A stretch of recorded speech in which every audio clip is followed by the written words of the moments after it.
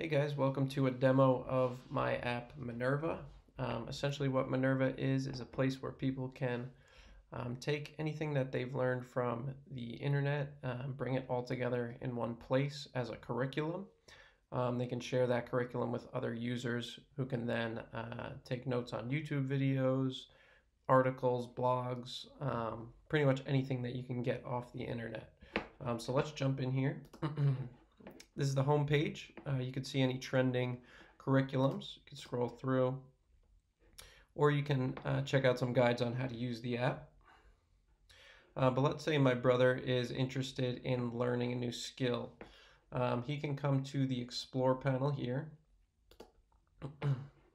any animations are done using, um, well, starting off in Adobe Illustrator, uh, creating vectors, bringing the vectors into React, as SVGs and then animating them with CSS.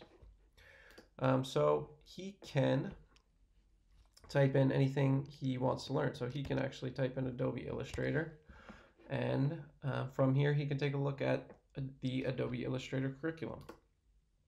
So the curriculum is made up of a few videos, a blog. Um, like I said, you could put books in here.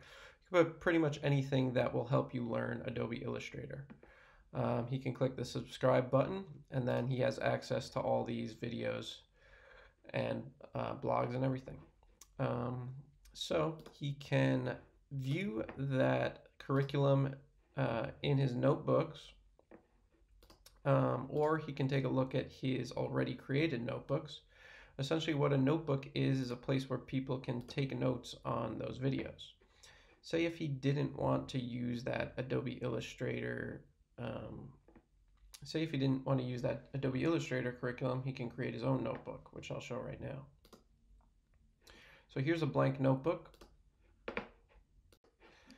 And he can come in here and bring in whatever he wants. So he could take a YouTube video that he found that he likes about Adobe and create this new notebook.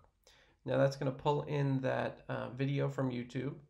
And now he can watch the video. And as he watches the video, he can then take notes. Once he creates that note, uh, the note will show up in the notes panel on the right here, but it will also have a tag um, down here. So let me demonstrate how those tags work. I can create another, uh, let's see,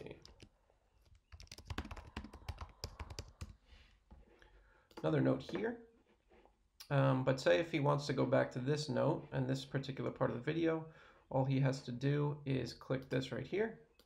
And as you can see, it brought him back to that specific location in the video.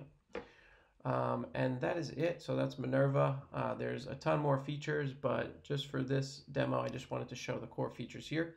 Thank you so much for watching and have a wonderful day.